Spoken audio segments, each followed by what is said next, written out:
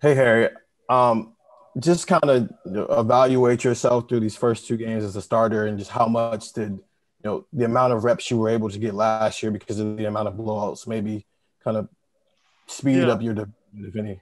Yeah, those were um, the reps last year. I think essential to um, being able to contribute this year. Mm-hmm. Um, and what's really what was really fun was just being able to also progress between week one and week two, and of course having the company of um, Josh, Wyatt, Thayer, and Nick are uh, is, is fantastic company to keep, um, and they help me progress. And of course, um, our unit is filled with great guys that that encourage progress. But definitely, like the reps I got last year were so helpful in just kind of um, getting used to tempo. Of course, it was later in the game when we had leads, but it was very essential to be able to kind of understand how a game functions um, at Ohio State versus in high school. And just a quick follow up: um, Are you still taking second team reps at center at all? Yeah. So I, I um, in regards to practice, I usually practice at just left guard. Okay. Um, but I always, we have a great, like again, our underclassmen this year as well are fantastic. And um, but I get, I snap often just so I'm always ready and reserved if anything happens. Um, but of course, between center and guard, it's a it's a quick switch. Of course, you know there's a little bit of a learning curve between, but it's always uh, capable to do both. Thanks. All righty. Next up, we'll go to Joey Kaufman from the Columbus Dispatch. Joey. Harry, how did you uh, when you were making the switch to guard? Who who did you kind of lean on for advice, and who helped you kind of the most the transition? Yeah, I would say um, while at Ohio State, Wyatt Davis. Um, Wyatt was an immense help and sort of a, a guy to lean on during the off season um, in regards to technical technical questions and um, sort of understanding the game from that position, but also watching Jonah Jackson for a full year. Um, I, there's possibly no better person to watch um, than Jonah as well because he was so incredible, great leader, great dude. Um, he's doing fantastic at Detroit now. So there's really there was no two better guys to learn from than um, Jonah and Wyatt, and so I was really grateful and thankful for that. All right. Next, next we'll go to Austin Ward from Letterman Row. Austin. Harry, you said you got better from week one to week two. We know you graded a champion this week. Where did you see uh, that improvement? I think um, it's funny because I was talking with Coach Wilson after the game, um, and he was asking how I thought I played, and I said, you know, really, um, playing against Penn State, it was kind of like the first time I felt like I was I was playing football rather than like doing assignments or thinking too much. It felt like I was playing football, and um, that lets you loosen up and make plays. And of course, for me, sometimes um, it's easy to get in your head, and it's easy to to lose yourself in situations, scenarios, predictions, estimations, and instead of just playing football. And when it comes down to it, football just comes down to um, hit a guy, try not to get hit too hard yourself, and, and keep your composure. And um, don't complicate it too much, just play ball. And so I think that was kind of it. And again, learning behind um, the line we had last year and with the guys we have this year, um, they kind of gave me the foundation to be able to just um, play football and not and not overcomplicate it. All right. Next up um, is Patrick Murphy, two four seven Sports. Patrick. Hey Harry, are you familiar with the guard center center guard transitions of Ohio State in the past? Billy Price, Pat Elflein, those guys. Yeah, those guys, like, yeah. So, like, in coming here, it was especially advertised to me, um, center, but of course, understanding um, how Billy operated, how Josh operated, how, you know, Pat, Michael Jordan, all those guys were sort of operating um, throughout the interior. And so that was something that um, I was well prepared for and I, and I understood.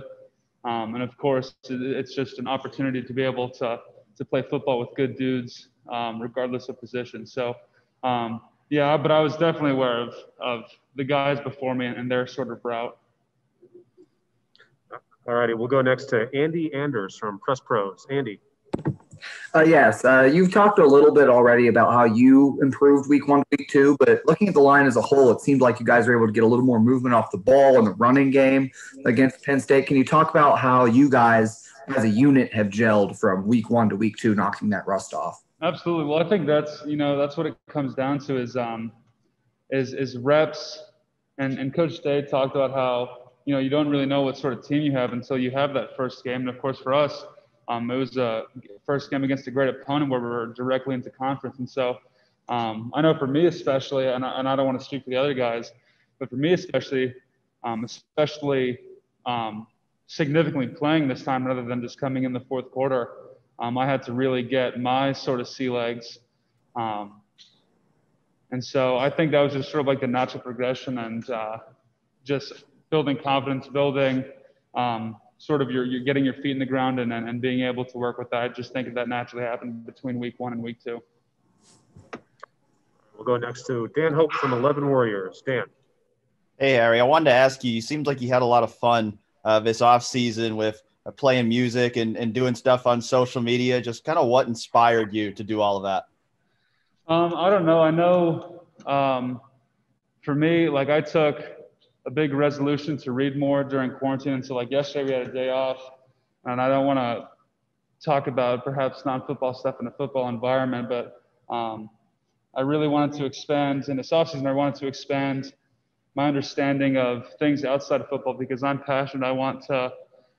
I have various dreams of, you know, owning a bookstore, sailing across the Atlantic Ocean, uh, doing stuff and, and traveling. Um, and so that was kind of, uh, and luckily social media, um, though it can be the sort of uh, a bane towards um, sincerity and a bane towards authenticity, um, I wanted to use it as um, a very natural sort of um, uh, natural sort of platform and a natural sort of like a town square of just uh, you know you can't really I can't really go out and busk on a street corner and play music for you know pennies and dimes, but I can kind of go on Twitter and um, screw around, and some people like it. So um, it was it was really fun. It was I was really happy to do, and I was glad that people um, liked it too.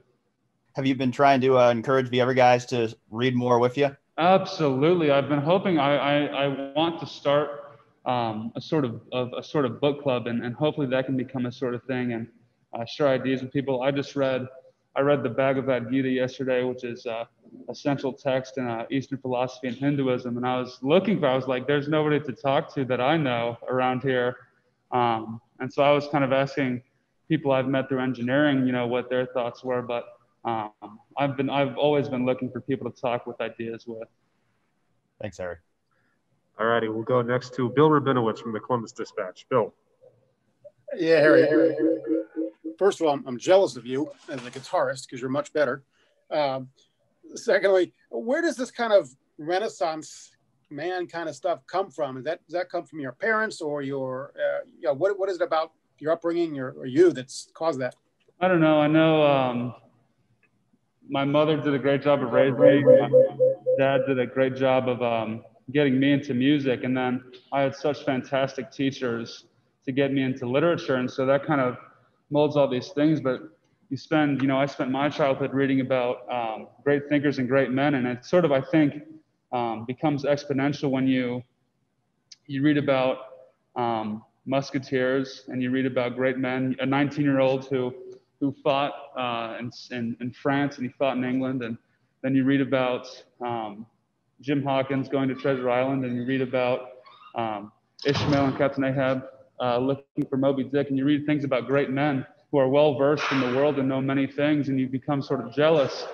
Um, I've I've done a little bit of traveling, but of course I haven't, um, you know, sailed and gone whale hunting, and I haven't um, been a musketeer in France. But you read great men, and, and books make you hold the company of great men and great thinkers, and you have very intimate conversations with the greatest thinkers of, of human history. And it sort of warrants you to check yourself and to improve yourself. And it kind of just makes you very hungry and very anxious to learn more things because, um, you know, you read the feats and you read the words of great thinkers and you think, what have I done? And it makes you want to be able to share such company as that. And so I think it's very natural that as you as you look for more, you realize you need to find more, and um, it sort of never stops. So that's sort of the boat I find myself in. All righty, we'll go next to Nathan Barrett from Cleveland.com. Nathan. Hey, Harry, I, I really don't know how to follow some of that. Um, but I wanted to ask about uh, Nicholas Petit Frere. We were talking to Kevin Wilson yesterday, and he was talking about how there's kind of a, a different sort of glimmer in his eye this year from a competitive standpoint. Um, what have you noticed just about what he's bringing to the field this season? Absolutely, I I love Nick, and of course it's always very hard. Um, Nick and I were both second team guys, and it's hard to have it's hard to sort of establish a swagger and a confidence understanding that you know you have a role as a second team guy to support the guys in front of you. And so you're not you're not the guy you're a guy supporting the guys. And so i think nick stepped into the new role fabulously. And um, he's fantastic and i and i love him and he does such a great job and um, i think he's so he's not you know loud and he's not uh, crass he's he's very calm and he's and he's very um, he's just great company to have and a great man to have on the line. But I totally see the the confidence that he has, and it's um it's very uh, like charming and reassuring to see that in him. All right, we'll go next to uh, Tim May from Letterman Row. Tim. Thank you very much, Mike. Uh, I don't know where to start here or end, but uh, I was just wondering, uh, uh, Harry, uh, have you found people or some people or maybe one person on the team maybe who's not as learned or as well read as you are but you consider to be a deep thinker you know in that regard? I mean, have you run into, into anybody like that that uh, can share sort of your thoughts? I think strongly. Um, tommy eichenberg went with me to nicaragua this year. Um, and we shared some and of course you were in nicaragua when um, ohio the season was the spring season was getting canceled ohio state was getting moved to online. Airports were possibly closing, and so we were down there and we shared some very intimate moments. Um, but to see him and Tommy as well as an incredibly quiet dude, um, and many people think that he doesn't have a lot to say, but I think he's incredibly um, profound, and I think that he's. Um, I always think of a little phrase where um, a wise man said, "Nothing at all," and um, you know, a fool is remembered for what he says, a wise man for what he does not say. And I think Tommy is full of no words that mean very much. And I think that um, his character and he, he is, I just think he's a profound character um, and one of my greatest friends that I can always lean on. And do you feel like you're well situated to take advantage of the name, image, and likeness uh, thing if it ever comes about with NCAA possibly next year? I hope so. I'm ho- I hope I can get sponsored by Half Price Books or something, or some sort of uh, something like that. That'd be nice. Yeah. Thanks, man. Alrighty, and the last uh, questioner for Harry will be um, Tony Gerdeman from Buckeye Scoop. Tony. Harry, you talked. Sounds like the the second game things have slowed down for you. Were you surprised at maybe how fast things were in that first game?